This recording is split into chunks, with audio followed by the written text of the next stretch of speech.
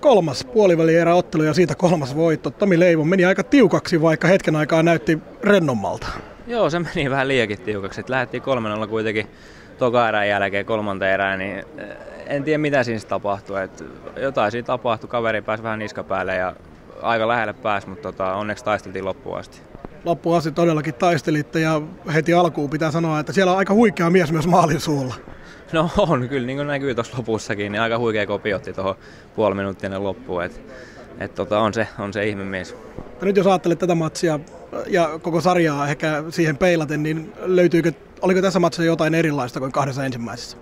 No en tiedä. Vaikea sanoa, että kaikkihan nämä tällaisia aika taistelupelejä. No ehkä eka kaksi erää tuntui jotenkin, niin kuin, että Jyppi oli vähän vaisu tai sitten me pelattiin niin hyvin, että en tiedä mistä johtui, mutta kaikkihan nämä tällaista aika niin kuin, taistelu, taisteluotteluita on ollut, että vaikea sanoa tähän nyt heti mitä eroja.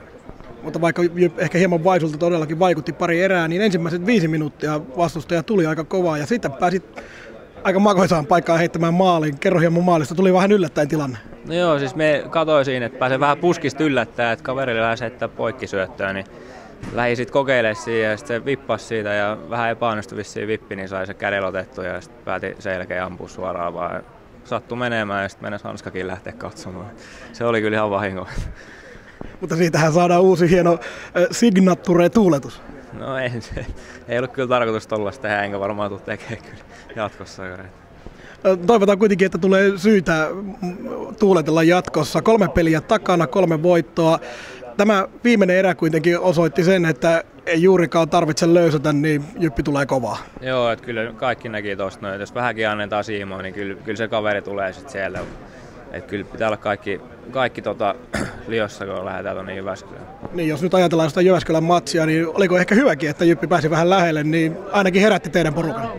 Voi olla tietysti hyväkin juttu, että tavallaan että ei nyt tämä mikään läpihuutojuttu ole tässä vaiheessa. Että kyllä Jyppi varmasti taistelee keskiviikkonakin. Että emme usko, että ne lähtee niinku luovuttamaan sitä peliä suoraan.